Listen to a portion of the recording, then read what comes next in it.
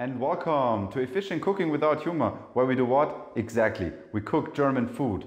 And today, the first episode ever, we're gonna make Eingemachtes Kalbfleisch, which is sort of a veal ragout. Uh, it, is, it has a rich, creamy, a little bit zesty sauce, and it is one of my childhood dishes.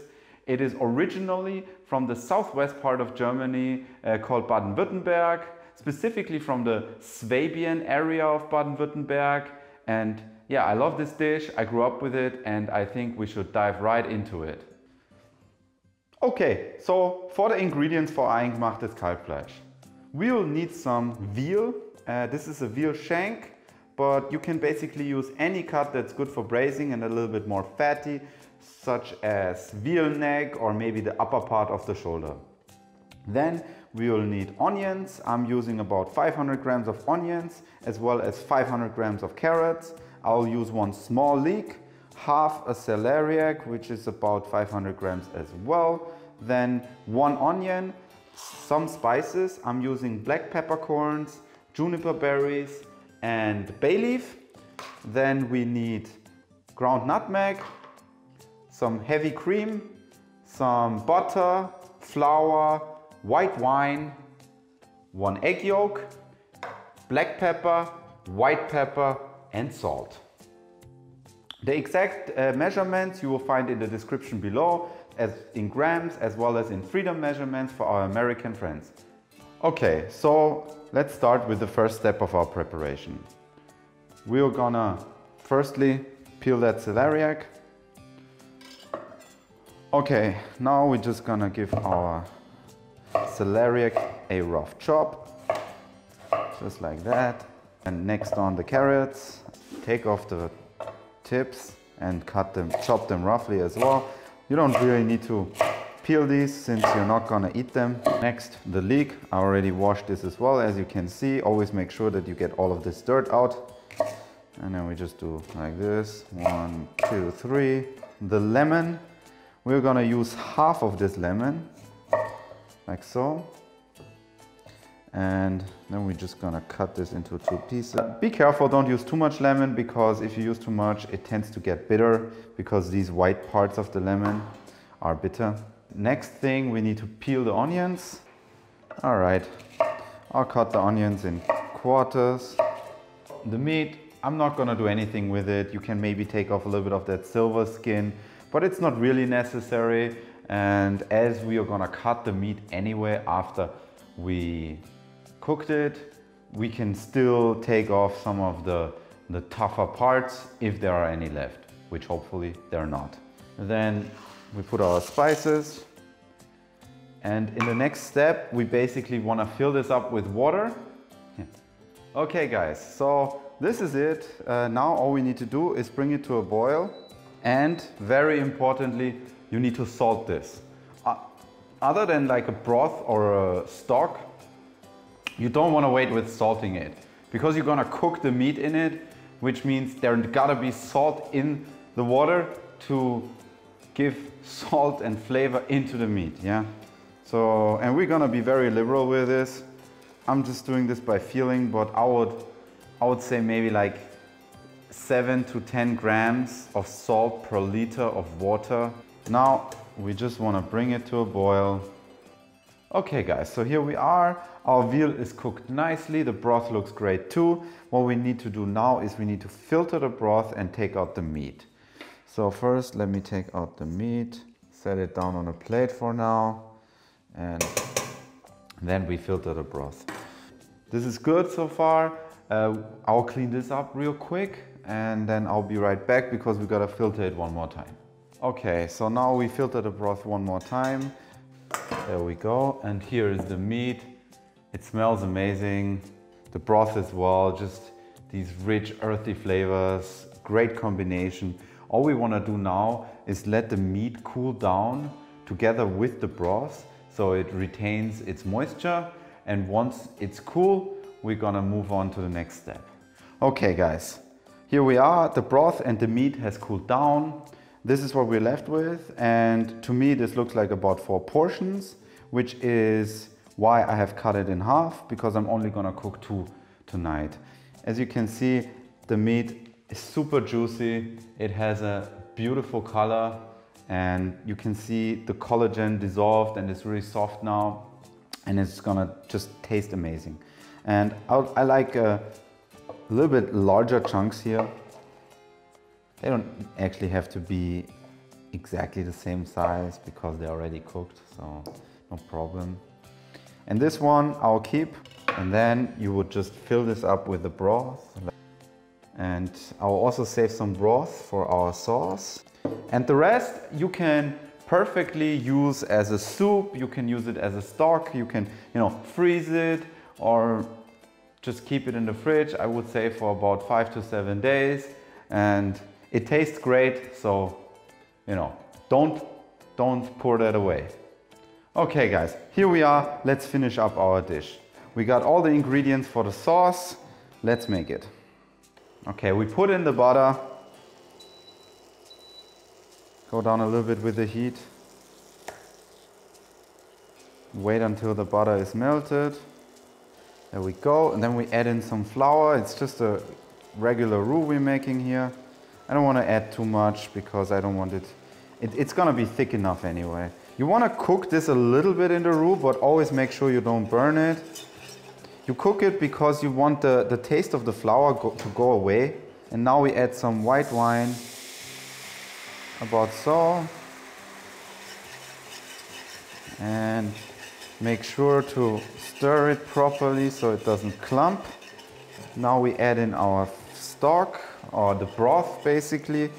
Step by step you don't want to add all of it because this will just make it harder to dissolve. Let it come to a boil before we add in our rest. Next we want to add in some cream. I go lightly on the cream. There are different recipes that only use cream as a thickening agent, um, but I like it, I like to be stingy with the cream.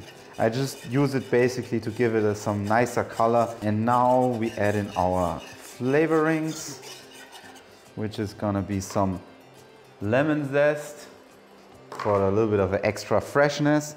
Then we will add in some ground nutmeg here and of course some white pepper. Now we can turn down the heat to the lowest and give this one more stir. You want to keep an eye on the consistency. If it's a little bit too thick, you definitely want to add in a little bit of the broth. And since we are later going to add an egg yolk as well to thicken it up and give it some extra richness, I really like to um, I really like to put a bit more broth right now, like so. That's it, just a tiny bit to really make sure we got the right, right thickness because you don't want the sauce to be too thick either.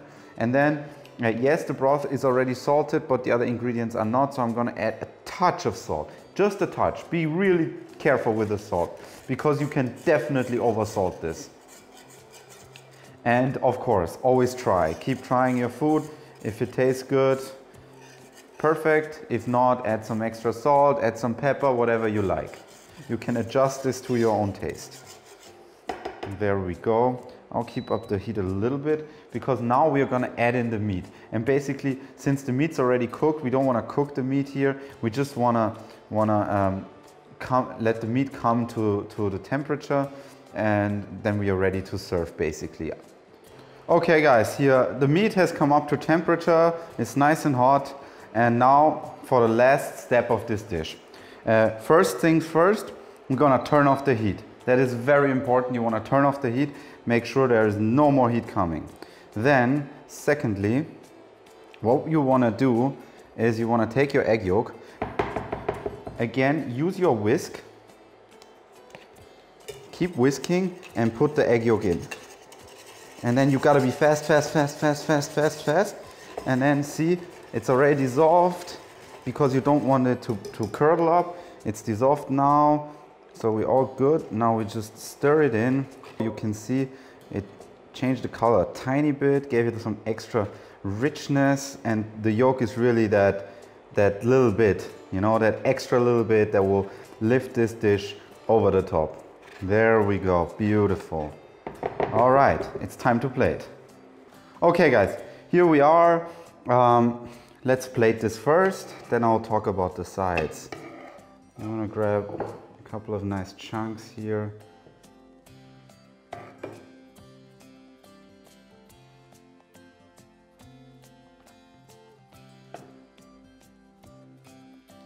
Go.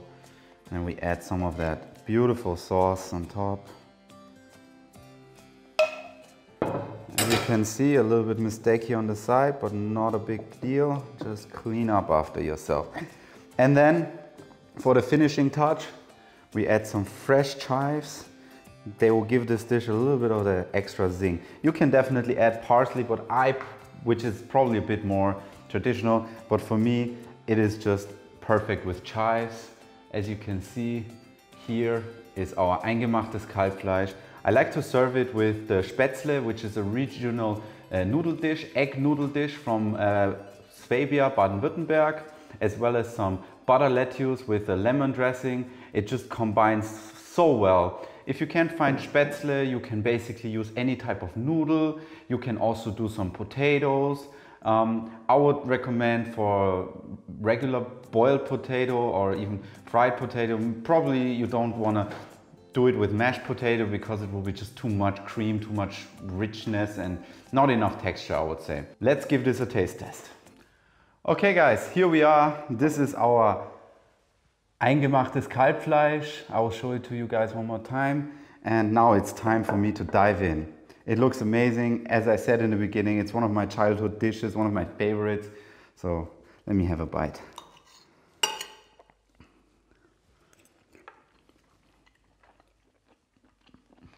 Mmm. This is just amazing. Firstly, the meat is so, so tender and juicy because of the way we cooked it. And it has this, this amazing veal taste. This is, it, it combines so well with the creamy sauce that it's rich, but not over, overburdening it.